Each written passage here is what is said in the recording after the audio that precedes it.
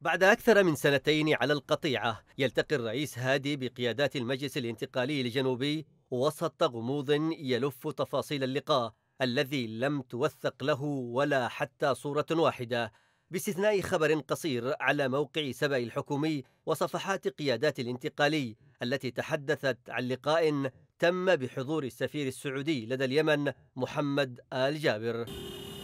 ووفق وكالة سبأ فإن هادي أكد على توحيد الجهود باتجاه تنفيذ الحلول العادلة للقضية الجنوبية التي نصت عليها مخرجات الحوار الوطني. في الوقت الذي أبدى فيه الانتقالي استعداده للعمل تحت مظلة الرئيس هادي بضمانة التحالف لمعالجة الأخطاء التي حدثت وتحسين الخدمات وهو ما يظهر من البداية تقاطعا في فهم الشراكة القادمة بين طرفي الاتفاق وكيفية الحلول للقضية الجنوبية.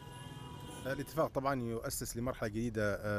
عنوانها الأبرز الشراكة الواضحة ما بين المجلس الانتقالي الجنوبي والحكومة اليمنية وبرعاية كريمة من قبل التحالف العربي بقيادة المملكة العربية السعودية ودولة الإمارات العربية المتحدة. بحسب محللين فإن الاتفاق السياسي الذي وقع الثلاثاء الماضي في الرياض بحضور ولي عهد أبو ظبي محمد بن زايد يحمل في طياته بذور جولة أخرى من الصراع نتيجة الصياغة الفضفاضة لبعض بنوده وترك تفاصيل الملف الأمني بدون توضيح دقيق لكيفية تنفيذه في ظل خلاف يطفو على السطح بين الحكومة التي ترى البدء بتنفيذ المسار الأمني والانتقالي الذي يرغب بتطبيق المسار السياسي أولا. إذا فشل هذا الاتفاق ربما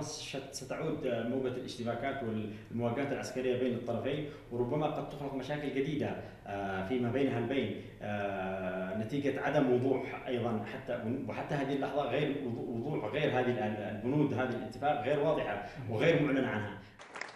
فيما يبدو فإن الاتفاق صيغ ليظهر السعودية أمام العالم كراع فاعل في الجنوب الذي كاد يذهب منها وهو ما ظهر من خلال التسوية التوفيقية التي ترضي جميع الأطراف حيث أعطت الرئاسة دفة القيادة وبرأت الإمارات من التهم الموجهة لها ووضعت الانتقالي عضوا فاعلا في التحركات الدبلوماسية الخارجية بينما أعطت لنفسها أي السعودية الكلمة النهائية والأخيرة.